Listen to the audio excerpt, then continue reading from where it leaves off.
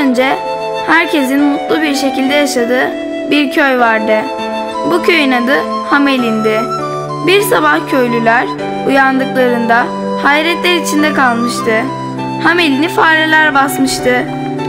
Kemirgen olan bu hayvanlar yiyecekler de dahil her şeyi yok ediyordu.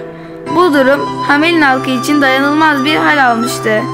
Köylüler durumu kraliçeye bildirip yardım istemişti.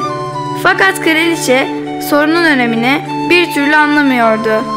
Kraliçe cimri olduğundan gereksiz harcamalarda bulunmak istemiyor, basit tuzaklarla onlardan kurtulacaklarına inanıyordu.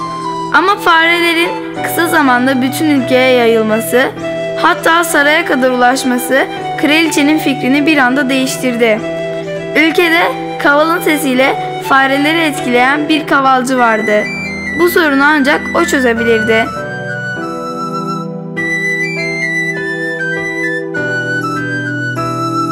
Kraliçe kavalcıyı derhal saraya çağırttı.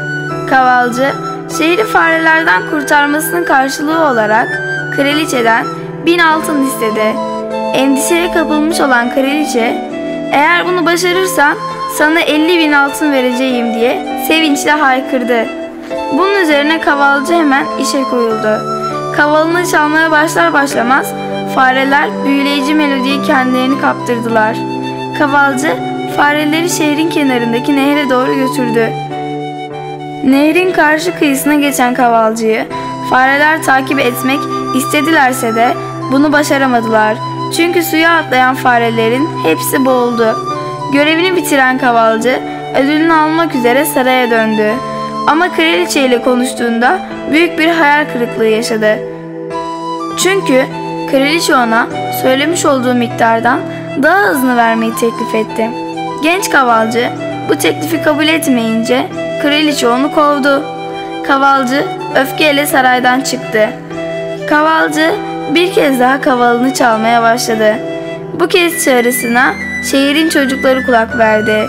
Kavalcı onları birkaç gün boyunca şehrin dışında değişik yerlerde dolaştırdı. Çocuklar şarkılar söyleyerek kavalcıyı takip ediyorlardı. Sesleri bütün şehirde yankılanıyordu. Günler geçti. Hamelin artık çocukların gülüşü ve neşesinden yoksun, hüzünlü bir şehre dönmüştü.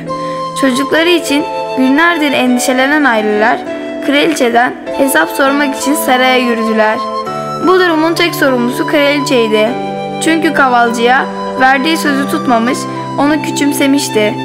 Şimdi kraliçeden başkası bu sorunu çözemezdi. Ailelerin baskısı kraliçeyi kavalcıya olan borcunu ödeme konusunda ikna etti. Çünkü yalnızca bu şekilde çocukları evlerine dönebilirdi.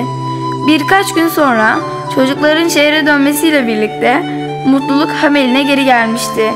O günden sonra kraliçe cimriliğin ve kurnazlığın kötü sonuçlar doğurduğunu anlayarak verdiği tüm sözleri tutmayı öğrendi.